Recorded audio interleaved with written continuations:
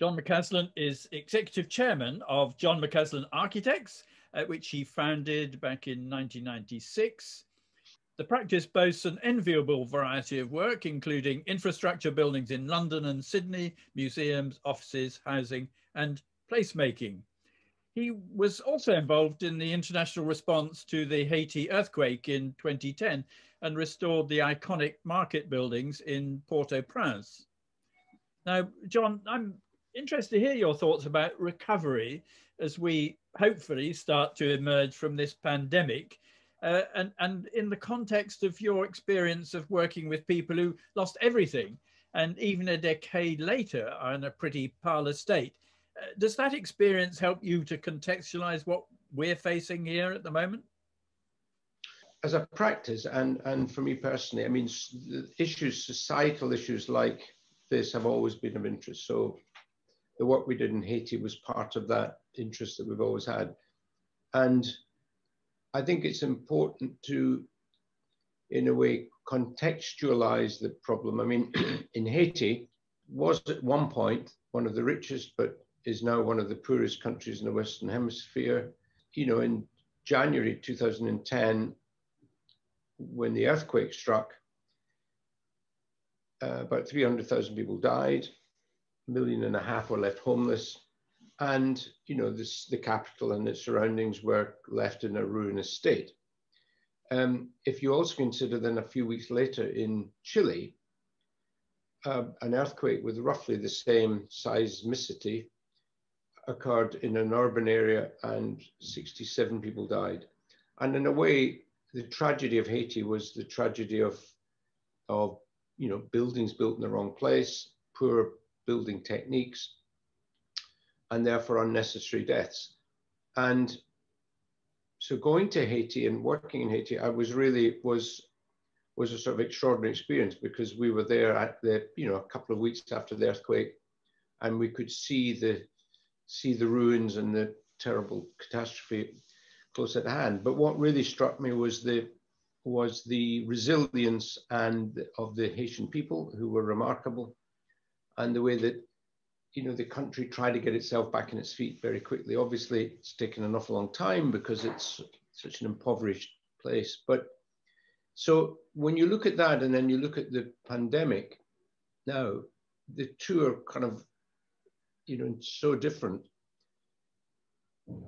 What I think is kind of interesting, if you if you consider that, you know, and I'm not sure if this is precisely the question, but if you consider that Britain's performance in the pandemic. I don't think it's been, certainly in the early stages, I don't think we covered ourselves in glory in terms of our slow response. And so if you sort of compare that to an emergency response in Haiti, which was immediate, our response was very poor. So you think, well, why would a country as sophisticated as Britain not have responded? You know, we lost six weeks or whatever it is, and therefore we're not prepared. so preparedness is something which I think has absolutely come through the pandemic now is being prepared for something like this if it ever happened again. And the but but in terms of Haiti comparables, I mean, if you think of the extraordinary way that the British public and the NHS, how people have rallied together and communities have rallied together, I mean, that has been remarkable. How I think it's brought out the best of not just here but in other countries. How people have managed to withstand this extremely difficult circumstances personally and collectively. And then I think it's kind of interesting to note that if you if you think in Haiti or in Malawi where we've worked, you know, a fraction in percentage terms of people have died as a, of, of, of COVID than in the UK. Well, you may think, well, why is that? Why is it a tiny proportion of Haitians, something like 500 Haitians have died in the pandemic? Well, that's recorded deaths in a country of 10 million people. Um, and it's not just, you know, it's not just climatic issues and various other things. It's, it's actually, it's frankly, it's because the, the population of Haiti, the average age is sort of 63 that people die. So it's, it's impacted, it's a, it's a condition that has impacted people over 65 or 75, where 75, 80% of the deaths have occurred. So making those comparisons are interesting that the poorest countries in the world have generally fared better in COVID than the more developed countries.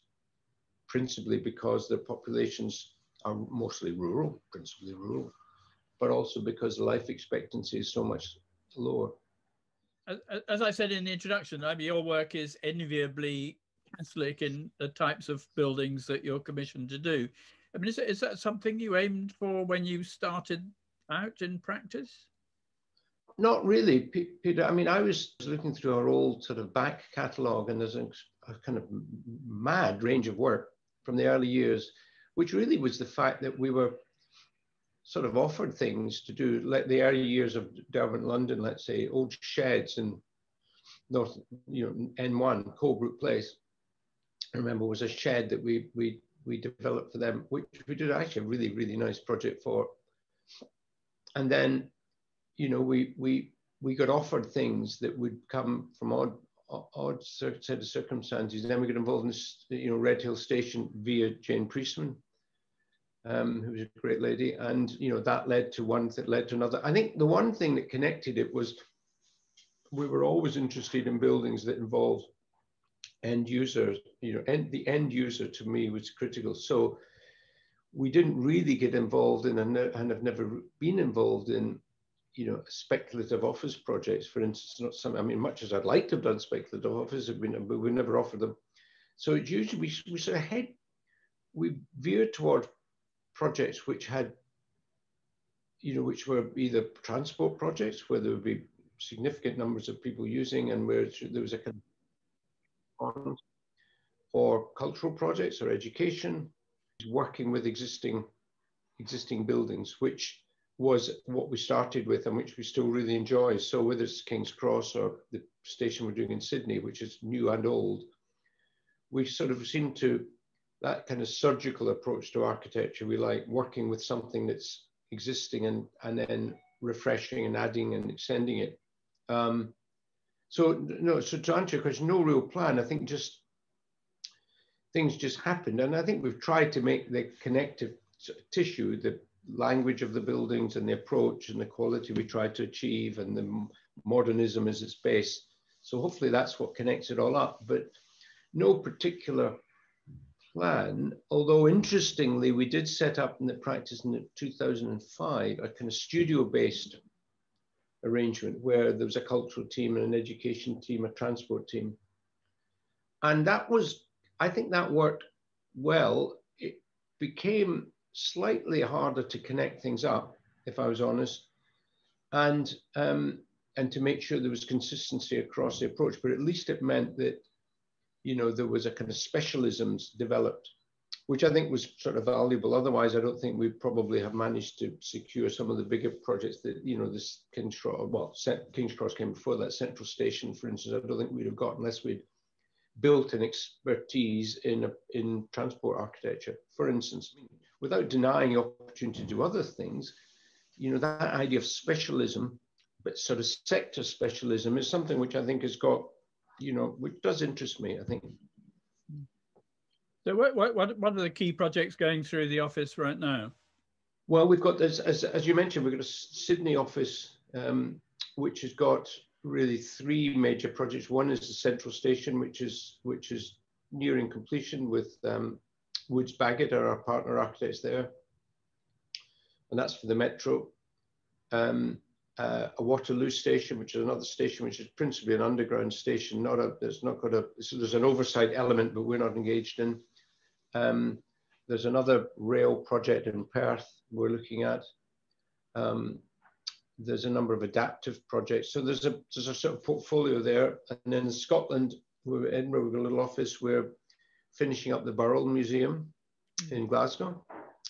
Uh, for, designed by Barry Gasson in the 80s or 70s, built in the 80s, uh, which has been great, much delayed with COVID, but we're getting there.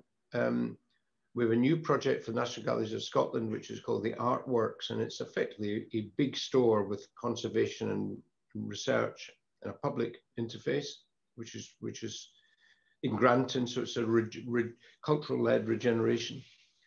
Um, we have a business school, Saïd Business School in Oxford, which is we're developing a new building for the British Museum in Reading, which is a again a store and research building. Um, We've got a number of projects in Moscow, which Aidan Potter leads, which are a mix of cultural and residential. Uh, we're doing a couple of big competitions, uh, one for Milan Olympics, Winter Olympics, uh, 2026, a new station in Belfast, which is on site called, with Arup. Um, so we're very, I mean, we're very busy, but the, like if probably like most people, that's, you know, there is a point in the future, not in the far too far distant future, when we see that this, you know, we need to fill fill the order book up. Something of a cliff edge, not quite a cliff edge, but a quite a steep slope that we're going to have to fill up. But that, that's, you know, that's the same with everybody, I think. There's a lot of discussion at the moment in the London plan and proposed changes to the planning system about characterization. So I'm, I'm interested to hear your thinking on this in the light of the work in you did in Doha, which seems to me uh, uh it's a place that exposes a, a, modern aesthetic, yet is very much of its place and of its culture, in, in, in spite of having been designed by a pretty international cohort of architects. It does come down to what is the real character of the place and what is the quality and scale of building and mix of buildings that are going to emerge. And then if you turn to Msheireb in Doha, I mean, that was effectively the project that was inspired by Sheikh Moza, who set about to build, rebuild the center of the city, 30 hectares, so about the size of King's Cross, which I happen to, I do think has got great character. I mean, what, what was achieved by Argent and others at King's Cross as a development, I think is fantastic in terms, of, I mean, you mentioned David Chipperfield's building, there's some great new work there. Wilkinson Eyre's gas holders, you know, the Stanton Williams work there. Um, you know, it's all of a high quality, it's fantastically connected up. Brilliant. I mean, that to me is, if you're comparing development, you know, look at what happened at King's Cross and look what happened in Msheireb, comparable in a way, perhaps in quality like the difference is, is that there's 120 buildings at Msheireb, huge number of buildings, similar kind of scale mix. I guess scale is relatively modest, but then rises, but is always contained. And the key thing there is that, like King's Cross, the mix it's not just commercially led. There's, you know, if you think of St Martin's, at, you know, the School of St Martin's, if that, I can never remember what it's called there School of the Arts, but it was called in King's Cross, you know, it's underpinned by four and a half thousand students. And at Msheireb, you know, it's underpinned by, you know, a new metro system, a new tram, cultural projects, uh, three mosques. Um, I mean, it is truly, then there's residential, there's some offices, um, there's a school that we designed. It's, it is truly mixed use. So it's it's mixed use, it's walkable, um, it in in a it's sustainable in that you know that it, it's as far as one reasonably can. It's hugely expensive because of so much of the servicing is put below ground by virtue of its sort of engineering infrastructural design. But it does create a place which has abs- which absolutely I think ticks the character box because it's got a sense of it feels like a, you know, it feels like a real place. The placemaking element of Msheireb, I think, is, is particularly strong. That that that it's it's it's managed to. It's framed by existing historic streets. It reinterprets in a way the historic street pattern. The architecture isn't is of its time. It doesn't try to be a sort of pastiche of the past, but there are sort of fairly significant guidelines established for materials and scale and the like, which, which Arup and um, and Morrison developed. So we all work within that. It's mostly new, but it's got a number of existing retained buildings, and we've developed five of the retained buildings as museums. So it's it's um, the establishment of guidelines, establishment of kind of placemaking rules, the scale, materiality, the mix, all makes it fills, I think fulfills that in a sense of place. You know, in, the, in that regard, it's a sort of exemplar, if you can call it that, for that type of character, you know, of creating a character which is authentic and, you know, you feel works.